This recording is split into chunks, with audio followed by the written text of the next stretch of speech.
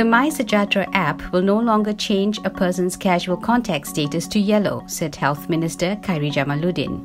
In a tweet, Khairy said starting today, a notification would still be sent to users to inform them if they have been exposed to COVID 19 patients. Previously, when MySejahtera Trace check ins detected that you were exposed to a positive case, your risk status would change to casual contact. From today, your risk status will no longer change. You will get a notification instead. If you have symptoms, isolate and test, he tweeted. Khairy shared a sample of the new notification which reads "My MySejahtera automated contact tracing system has identified you as a casual contact. If you develop symptoms, please do a self test. You are not subjected to any restrictions, but please adhere to SOPs at all times. Stay safe.